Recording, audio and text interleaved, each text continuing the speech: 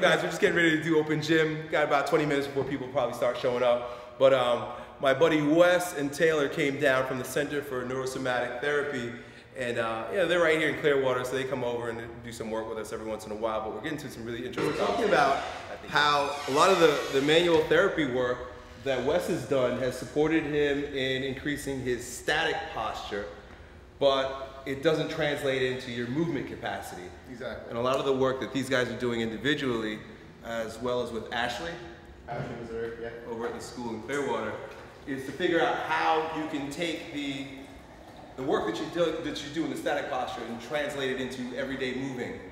Sure. Right? So what are some of the things that you guys are coming up with with regard to how to, to change someone's uh, muscular imbalances, not just statically, but also so that they can move differently? Well, and she, that's the thing, is she's the only one that's really been experimenting with it. We haven't been doing the work long enough right. to really see, okay, you have a good standing posture, but when you go to move, you throw everything off because you know, your, your glute max isn't firing correctly. And that's, that's the problem with me was that mm. eventually I got out of pain and I was in good standing posture, but if I wanted to go work out again or if I wanted to go do some kind of activity, I ended up screwing myself up again because I wasn't using the correct movement patterns. I wasn't trained biomechanically to stay in proper alignment no matter what I'm doing, whether I'm getting out of a car or squatting, right. it doesn't really matter because you're gonna lose your results if you're not like instantly, right? Yeah. I mean, you could get right off the massage table. I mean, it, will it'll last maybe a week. You know, you oh. might not be in pain for a while, but and, and it's usually because obviously we're not working with athletes that much. We're working mm-hmm. with people that are in chronic pain, right? Chronic health conditions so they're not moving around that much. They're usually the people that are in bed. Yeah. So it takes a little while longer for them yeah, to not like, like us, we'll go results. feed ourselves exactly. up. And I'll lose the results the next day. Yeah. So it's like, where's the balance? So let me ask you guys a question because what you guys do at the, at the center works on the, the neuromuscular system and then also some components of the visceral system, right? Yeah. Sure. I mean, I, I we learn organ massage so um, two things that I often consider, and you uh, work with you in this way also, is uh, do you guys take into consideration the atlas and, and how oh, that may yeah, play? Yeah, we, we, we do atlas corrections. We can actually correct it ourselves. When we measure the atlas, we can see if it's sheared or if it's tilted or rotated, mm -hmm. and we learn to correct that stuff. Um, it's not like as immediate as if you were going to like an advanced orthogonal chiropractor or something right. like that. Uh, it's obviously not nearly as accurate, but it still can make a huge difference. So usually we start with the atlas if, if it's clear that that's what the issue is. We'll start right. there and kind of work our way down because the higher up you go into the spine, the more important you know the neurology is. Right. So that's usually where we start is atlas if we think that's that's the main component of it. Right.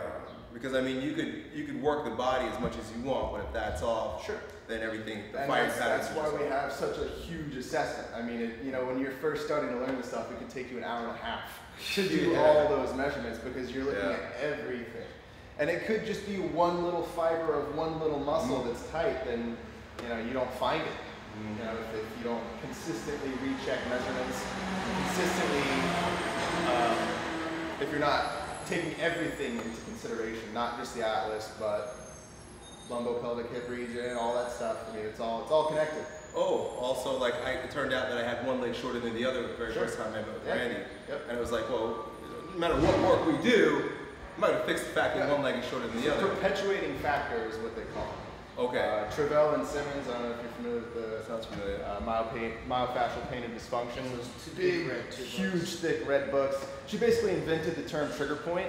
Okay, yes. Um, Oh, so, yes, of course. About, and Paul worked with her a lot. Uh-huh. Um, and she's the only person that's really come out and explained how, and even with chiropractors, they, they look for leg length inequalities, but they kind of tend to think that they can just fix it by pushing your pelvis into more flexion and getting right. your legs to even out. Right. That's not elongating bone. You know what I mean? You've talked about the difference between a functional short leg and a structural short leg. Right. With a functional short leg, you can easily fix that by manipulating the pelvis in order to drop that foot down. But if you have a literal structural difference between your two femurs, you can't elongate that. You can't pull a bone shorter than the other one into the same position. So if you don't address that, obviously you're going to continue to refacilitate that same hip height or that low shoulder right. or whatever. I want to elaborate on something Wes was talking Hey, before about. you go though, I want to congratulate you on trying to speak over the fucking garbage man and that and that noise. Fuck waiting. This is what I deal with. I. So usually I just wait. But hey, sometimes you can just yell.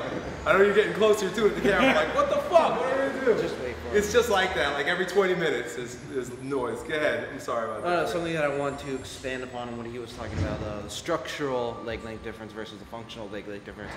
Um, a lot of people don't think it exists because of the way chiropractors were taught to see um, a structural short leg or a functional short leg, which is they don't actually look at the head of the femur as compared to the bottom of the heel pads. They'll look at like your umbilicus Right. down to your heel pads, and then once those two heel pads align, then they say, "Oh, well, we fixed your anatomical short leg." Well, how have you done that? By elongating the bones, but you can't see the head of the femur from the external. You have to get a pelvic X-ray. Right, So absolutely. They're basing it off of assumptions, and then they say, "Well, only one to two percent of the population actually has a, or a structural leg length inequality." Well, it's well that's un- 90%. that's yeah. It's It's, it's like 90% 90%.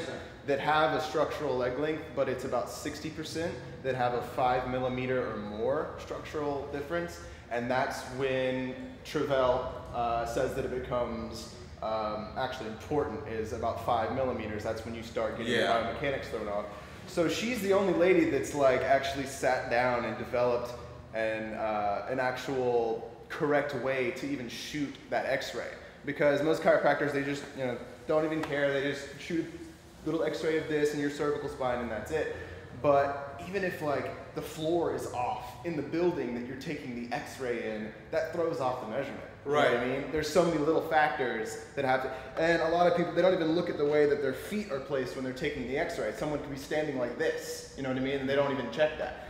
You have to have your hips, your trochanters aligned directly with the pelvis. This is about where my natural stance is, and that's where I got my x-ray taken, is in this stance. But if you're like leaning over to one side or something like that, chiropractors don't even look at that. You know? And we should add on to that. Not every chiropractor. No, obviously, absolutely not. Had- depends on the practitioner. I've had awesome But in chiropractors. It's interesting how people who, of course, you spend a lot of time investing in your tool, but then it's very easy to become blind to the fact that there may be other tools that could support this. Yeah. Yeah. You know, I think you mentioned when you uh, s- a, a situation with Paul St. John where uh, they were doing all the work that they could with a particular individual. Yeah. Um, but it turned out that it was best not to continue working with her. Yeah, well, what happened was um, we were working on a case, and she came in with Lyme disease, and she had a lot of severe stuff going on. We started doing the neuromuscular work, which is a little bit more aggressive than your typical Swedish or maybe even a sports massage. Depends on who you're working with. But um, the work that we do tends to be a little bit more aggressive, and in, in initial times that we were working, with, got really good results in releasing stuff. Did But she have RSD? I'm Um, sorry. Lyme. Oh, it was Lyme. so I'm sorry. Okay, So as continue. things as things started to go on, we noticed that her condition was actually getting worse and not improving. And um, Lyme's disease actually can turn into a neurological neurological um, disease. So started they started doing work with her, and her joints were locking up quicker than they were before. After we started getting releases for a long time. So you got to know when to say, "Hey, I'm, Right. I'm done here." Obviously, like we, we did our best, Right. but But he's something still else working might be needed. And Yeah, he's just yeah. trying different modalities. Different thing is, approach. you know, at first he would say, okay, I need to release all this musculature, but Mm-hmm. after a while the results started to diminish. So he was like, okay, what's the next thing we can look at? Fascia. Started doing fascial work with her. It's a lot easier. It's not nearly as painful Mm-hmm. as the neuromuscular work. I mean, it can be, but you know, if you're if you're gentle with it. Um, and then eventually stopped losing results with that. And I actually just shadowed Paul Yeah. while she was while he was working with Anna the other day, and uh, he was doing Mr. Miyagi style qigong healing. Yeah, you know what I of mean. course. It's like he's pulling out all of his tools. Yes. And the thing is that it's the Lyme's disease that was keeping her that way.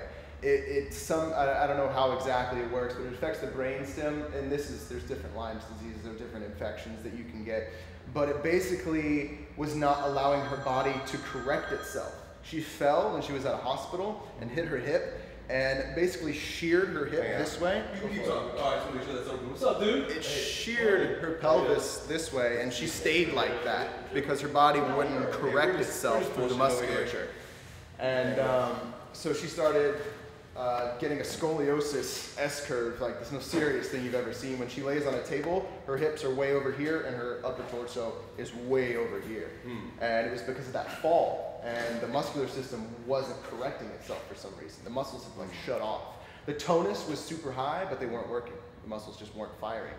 So, so how do you get the how do you get the muscles to fire again? Like in your case, you're saying that you start exercising. Disease. You know, we're not we're not doctors. We're not we're not. What about you? So you, you say that you can correct your posture in the, the standing position, position, but when you go into movement, you don't fire properly. Now, how do you sure. retrain the firing pattern? And that's when I started working with Ashley, Ashley Mazurk, right. who's a Czech practitioner, functional exercise mm-hmm. trainer, that kind of thing, to see what muscles I am using and what muscles I aren't firing.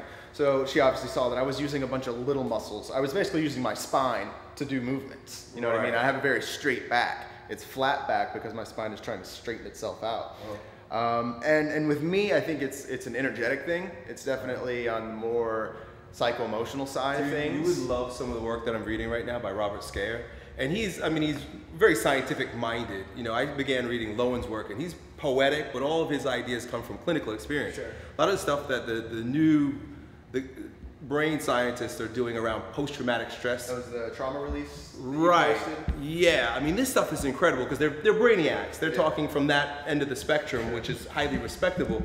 And, um, and he goes, to goes on to show how parts of the brains that are affected by a particular trauma and our response to it are intrinsically linked to the soma, to the muscular system. And how the being trapped in that particular um, mind state associated with the trauma has deleterious effects on the muscular system and if they if the trauma isn't dealt with and we all have forms of trauma you know we tend to think of it as just as uh, you know military or, or rape or or you know things that are very violent. But I mean, it doesn't take anything more than like a brother who beats you up, right? or uh, or or a parent who's just really uh, loud and aggressive with you, or seductive with you, or anything. I mean, a, a teacher who I had a teacher who used to take her pencil and like tap the back of my head with it, and it was like, I, I, it like scarred me. I still like remember it. And every once in a while, I'm like this. So I wonder if that's, that tick is trapped inside me. But the ticks almost like uh, they, they get caught. Your your actual response to the trauma at the particular time, if it's not discharged, gets trapped in what you would have done yeah, in the muscular system. and it's like you could spend forever massaging, stretching, sure. and attempting to retrain. But if you don't deal with the psychological component, the energetic component, then it's just going to keep going back. Based, the term he uses is priming. It's just you just your brain just goes right back to it, just goes right back to it, right back to it, until eventually you have to discharge the emotional energy that's associated with it for it just to say, oh, okay, I'm done. And a lot of that stuff is uh, Peter around Peter Levine and uh, Robert Scaer, uh, David Berceli. That's like the work that these guys are doing. It doesn't look as aggressive as bioenergetics because bio, like Lowen and, and Dr. Glazer, it's all about like attack. Like you see that there's a muscular imbalance, and like he'll just go in in the same way that you guys are a bit more like have a bit more finesse with mm-hmm. the muscles that you go in.